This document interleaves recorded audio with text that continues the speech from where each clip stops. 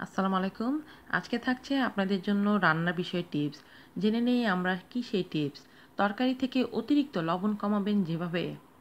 তরকারিতে লবণ বেশি পড়ার ঝামেলা কার না হয়? এই ধরনের সমস্যায় সবাইকেই পড়তে হয়। আর সেই লবণ কমানোর জন্য নানা রকম উপায় রয়েছে। ঝোলের তরকারি বা ডাল থেকে তো লবণ কমালেন, কিন্তু ভাজি, কাবাব, ফ্রাই করা খাবার থেকে কীভাবে কমাবেন লবণ? জেনে নেই সব রকমের খাবার থেকে লবণ কমানোর কিছু কার্যকরী কৌশল।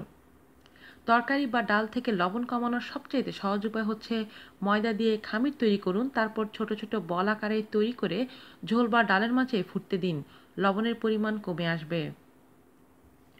মাছের তরকারি হলে ডালের বড়ি যোগ করুন।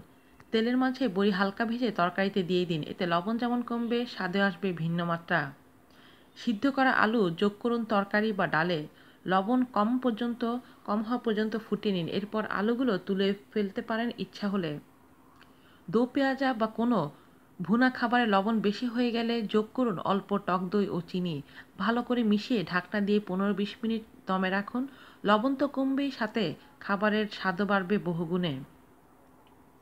কাবাব, ভুনা বা ডাল চচ্চড়ি জাতীয় খাবারে লবণ বেশি হয়ে গেলে যোগ করতে পারেন অল্প লেবুর রস ও সাথে এক চিমটি চিনি।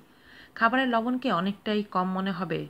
সবজি ভাজিতে লবণ বেশি হয়ে গেলে যোগ করুন কাটা পেঁয়াজ ও ধনে পাতা। টমেটো কুচিও দিতে পারেন। তারপর ভালো করে ভেজে নিন আবার।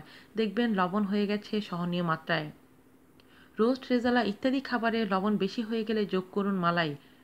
ওই একইভাবে দমে দিয়ে রাখলে লবণ কমে যাবে। যে কোনো তরকারিতে লবণ বেশি হলে বেরেস্তা যোগ করুন। এতে ঝোল ঘন হবে, স্বাদে যোগ হবে বাড়তি মাত্রা। অন্যদিকে লবণটাও কমে আসবে। তন্দুরি চিকেনে লবণ বেশি হয়ে গেছে, সাথে পরিবেশন করুন একটি বেশি মিষ্টি দেওয়া রায়তা।